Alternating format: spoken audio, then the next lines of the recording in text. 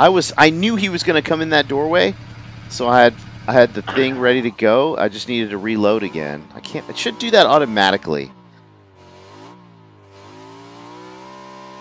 I'll come and avenge. Yeah, come Ah, get him, just Stu. Run over him.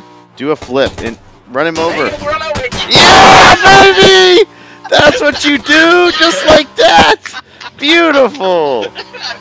Man, that's what makes the whole game worth it right there. One good kill. That's all we needed. Get him again. Get him again. Honk your horn as you're running him over. Oh. Don't worry, you screwed up their game in the process. Motorcycle vengeance, baby. That's what I'm talking about.